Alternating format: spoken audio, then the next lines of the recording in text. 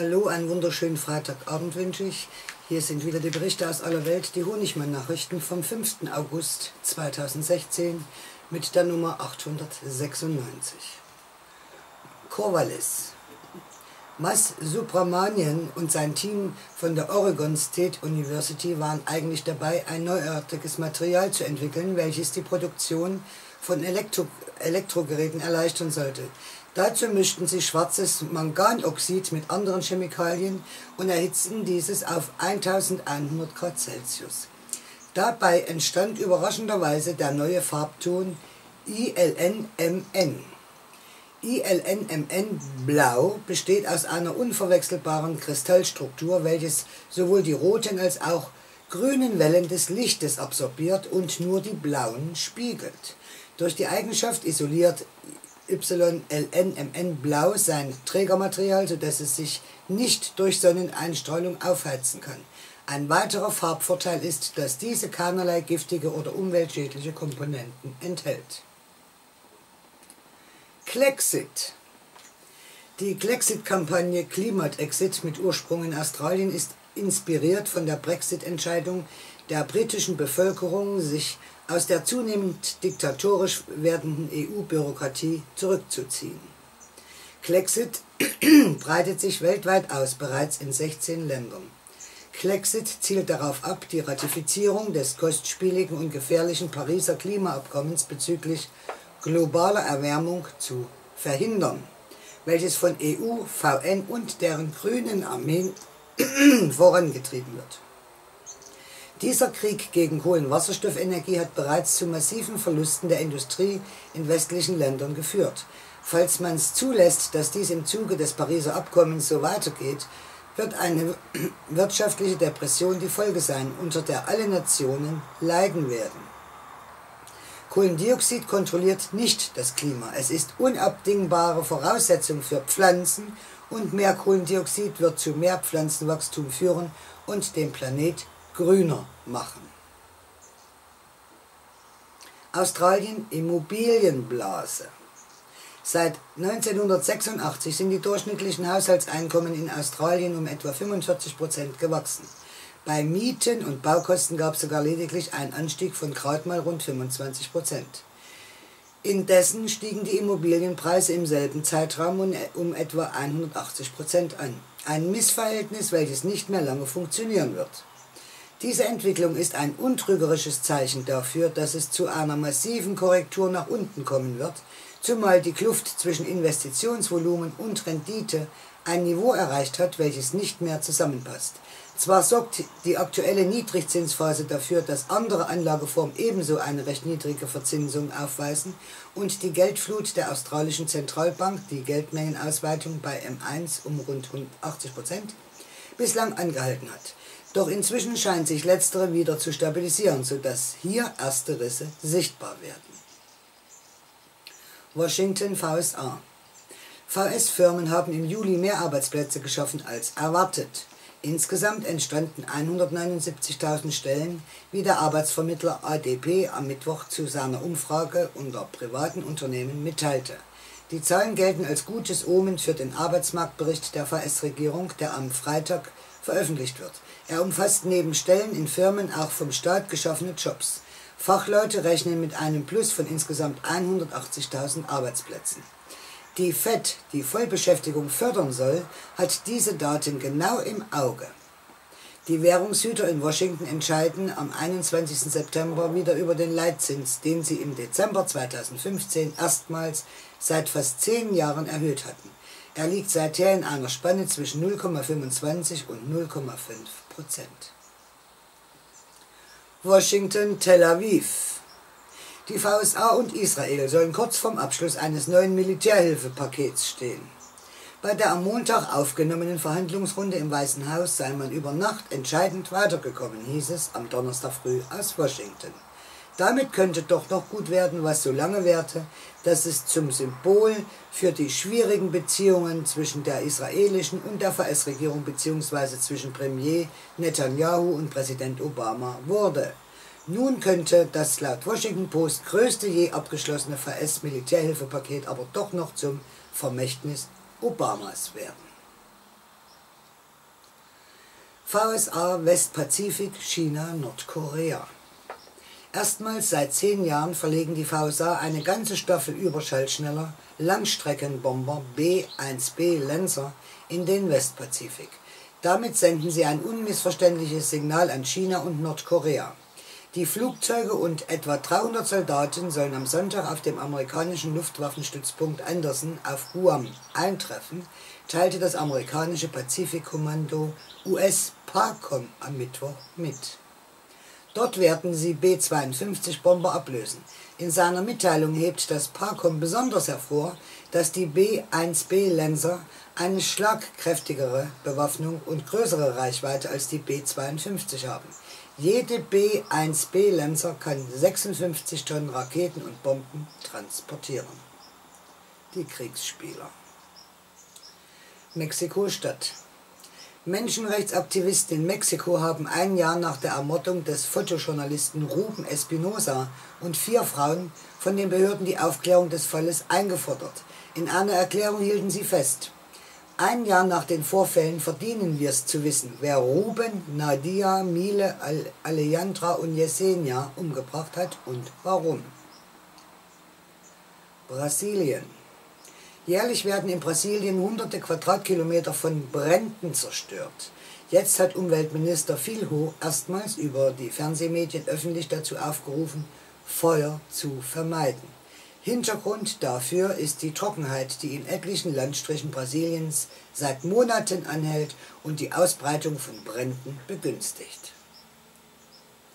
Israel-Palästina Das israelische Parlament hat mit großer Mehrheit Gefängnisstrafen für palästinensische Kinder ab zwölf Jahren eingeführt. Mein Gott, Nationale und internationale Menschenrechtsgruppen verurteilten diese Entscheidung. Der VN-Weltsicherheitsrat forderte Israel auf, die Normen des humanitären Völkerrechts zu befolgen und kritisierte ebenfalls Israels Behandlung von palästinensischen Kindern. Afghanistan Eine Gruppe ausländischer Touristen ist in Afghanistan von den Taliban beschossen worden. Darunter waren nach afghanischen Armeeangaben auch einige Deutsche, berichtete der Fokus.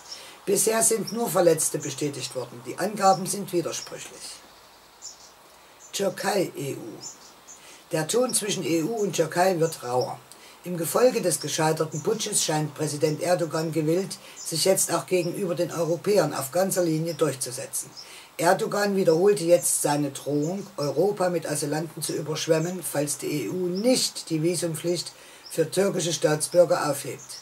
Im Interview mit der FAZ erklärte der türkische Außenminister Cavusoglu, die EU habe noch bis Oktober Zeit, um die Visumspflicht aufzuheben.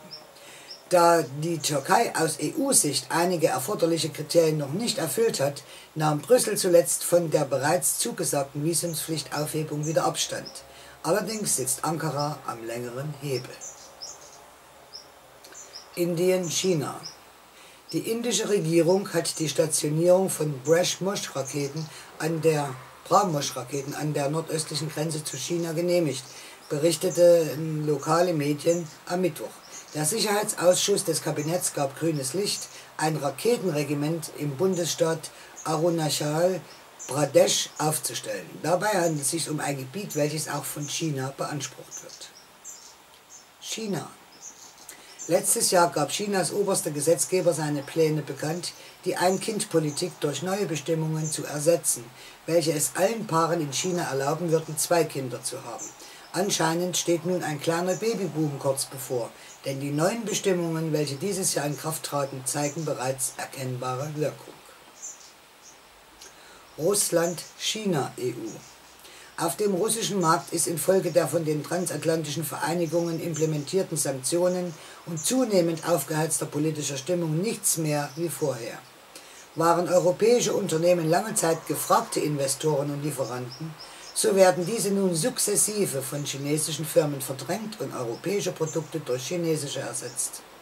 Wie deutlich die chinesische Marktdurchdringung in Russland anwächst, zeigt sich an deren Anteil an den gesamten Importen lag der chinesische Anteil 2000 noch bei etwa 5%, so betrug dieser schon 2014 bereits 20%.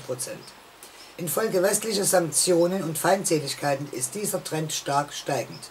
Indessen sank der Anteil russischer Importe aus der EU im selben Zeitraum von 70 auf 55 Prozent. Inzwischen sorgt sich jedoch die EU, dass Russland und China einen Freihandelsvertrag abschließen könnten, der die bisherigen Zölle von durchschnittlich 7 Prozent aufheben würde. Moskau, Russland. Laut dem russischen Ministerium für Wirtschaftsentwicklung ist die Inflation in Russland auf Jahresbasis zum 1. August auf 7,1 Prozent zurückgegangen. Anfang Juli lag sie noch bei 7,5 Prozent, sagte ein Vertreter des Ministeriums gegenüber Interfax. Am Mittwoch hatte der staatliche Statistikdienst Rostat berichtet, dass man in der Zeit vom 26. Juli bis 1. August eine Deflation von 0,1 Prozent registrierte, das erste Mal seit September 2011, dass wöchentliche Preisrückgänge festgestellt wurden. Xi. Moskau, Kiew. Russland hat bislang vor, einen neuen Botschafter in der Ukraine zu ernennen, wie der Pressesprecher des russischen Präsidenten Peskov gestern mitteilte. Wir schlagen wie früher vor, einen neuen Botschafter zu bestellen. Das ist unser Herangehen an die bilateralen Beziehungen. Wenn es Kiew für sinnvoll halte, das Niveau diplomatischer Beziehungen zu senken, sei dies die Wahl der ukrainischen Seite, betonte Peskov. Ostukraine, Genf. Bei den Kämpfen in der Ostukraine sind vergangenen Monat so viele Zivilisten verletzt oder getötet worden wie seit einem Jahr nicht mehr, teilte der UNO-Hochkommissar für Menschenrechte Hussein mit. Im Juli seien 73 Menschen durch Minen, Sprengfallen und Beschuss zu Schaden gekommen. Spanien, Portugal, EU. Die Defizitländer Spanien und Portugal können endgültig aufatmen. Die EU-Finanzminister werden von der EU-Kommission vorgeschlagenen Straferlass für beide Länder nach Informationen des Handelsblatts nicht stoppen. Die Empfehlung der Brüsseler Behörde war umstritten, da Portugal und Spanien die Defizitvorgaben wiederholt verletzten. Die EU-Finanzminister könnten die Kommissionsentscheidung innerhalb von zehn Tagen ablehnen oder ändern. Die Frist läuft bis 8. August. Ungarn wird Ungarn die nächste Nation sein, die die funktionsgestörte EU verlässt? Die Frage ist gar nicht so weit hergeholt, wie es den Anschein hat. Am 2. Oktober werden die ungarischen Wähler am landesweiten Referendum teilnehmen und darüber abstimmen, ob sie der von der EU aufgezwungenen Ansiedlung von Migranten in Ungarn zustimmen oder nicht. Großbritannien es ist gut möglich, dass bereits eine Million illegale Migranten in Großbritannien leben und die Wahrscheinlichkeit, dass sie abgeschoben werden, ist gering, meinte der ehemalige Leiter der britischen Grenzbehörde. Seine Kommentare deuten darauf hin, dass das Problem inzwischen zu groß ist, als dass man etwas dagegen tun könnte, merkte die Zeitung an. Wien, Österreich. Am frühen Donnerstag erhielten Polizeiinspektionen in mehreren österreichischen Bundesländern Konkrete Terrordrohungen teilte das Innenministerium in Wien mit. Auch gegen den Flughafen Wien gab es eine Drohung. Die Sicherheitsvorkehrungen wurden verstärkt. Ermittler tippen auf dschihadistische Kreise als Quelle. Die Ermittlungen verlaufen bisher ohne konkrete Ergebnisse. Der Sprecher des Innenministeriums Grundböck erklärte, dass die Drohungen von einer verdeckten Mailadresse gekommen seien. Deutschland auch im Gesundheitswesen kommt es immer wieder zu Bedrohungen von Ärzten im medizinischen Fachpersonal durch Fachkräfte. Erst kürzlich wollten Illegale in Bonn einen Arzt, übrigens nicht mal Deutscher, mit einem Jagdmesser den Kopf abschneiden. Dies ist nur einer von vielen Fällen, in denen Mediziner um ihr Leben fürchten müssen. Genau deshalb steigt auch in diesem Bereich der Bedarf an Selbstverteidigungsutensilien. Aus der Berliner Charité soll es kürzlich eine Sammelbestellung beim Anbieter Migrantenschreck gegeben haben wie dieser in einer Pressemitteilung verlauten ließ. Dortmund.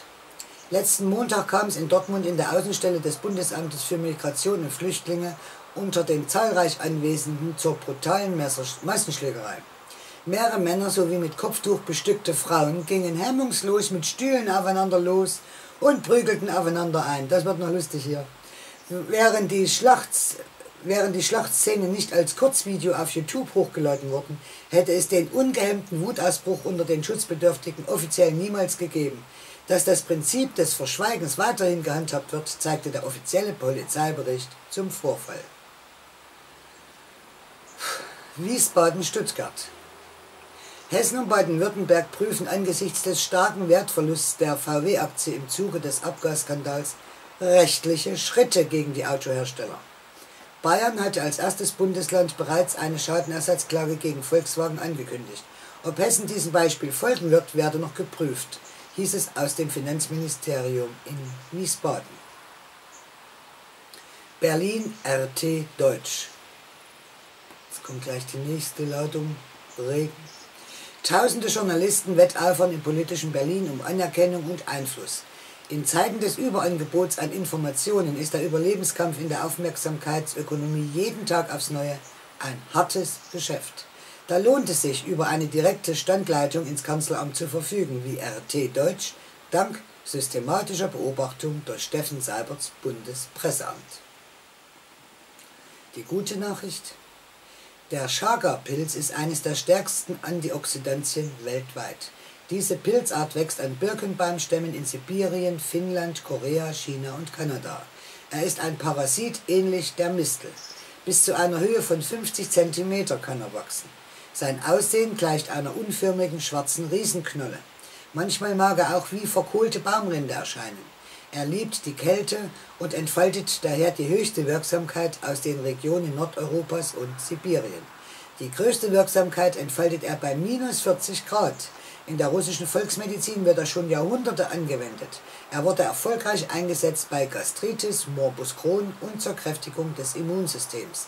Vielen Menschen konnte er auch helfen bei Magengeschwüren, Zahnfleischbluten und Diabetes. Zudem verhilft er noch zu schöner Haut. Und die zweite gute, schöne Nachricht. Wer ist das schwarze Schaf in deiner Familie, in deiner Abteilung, in deiner Nachbarschaft? Wenn es einem Menschen nicht gut geht, er in einer Krise ist oder mit sich selbst unzufrieden ist, dann sucht er schnell nach einem Sündenbock, an dem er seinen Ärger, seinen Wut oder seinen Hass ablassen kann oder dem er die Schuld an seinem eigenen Unglück gibt. So erschaffen wir uns die schwarzen Schafe in unserer Familie, in unserer Firma, in unserer Gesellschaft. Beschuldigen Sie, grenzen Sie aus, greifen Sie an oder mobben Sie. Wer ist es in deinem Umfeld, den du dafür verantwortlich machst, dass du nicht zufrieden bist, dass es dir nicht gut geht? Wen verurteilst du, klagst du an, über wen beschwerst du dich, über wen schimpfst du? Wen hast du in deinen Gedanken zu deinem Freund erklärt und dich selbst zu seinem Opfer?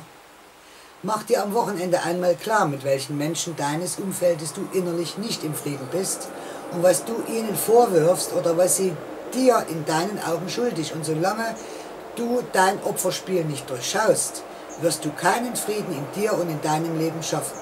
Frieden und Zufriedenheit fallen nicht vom Himmel, sondern entstehen nur, wenn wir beginnen, unser Herz zu öffnen für das wütende, ängstliche und gekränkte Kind in uns und mit Liebe seine oder deine Gefühle anzunehmen und zu durchfühlen. Frieden oder Krieg entstehen immer von innen nach außen. Und das war's mal wieder für heute. Wie immer bedanke ich mich recht herzlich fürs Zusehen und fürs Zuhören. Hoffe, dass am Wochenende tatsächlich das Wetter mal ein bisschen besser wird. Obwohl schon wieder die nächste Kaltfront dann noch angesagt ist. Schauen wir mal, was passiert. Ja, ich bedanke mich wie gesagt recht herzlich und verbleibe wie immer eure Biene vom Honigmann. Und ciao und viele liebe Grüße.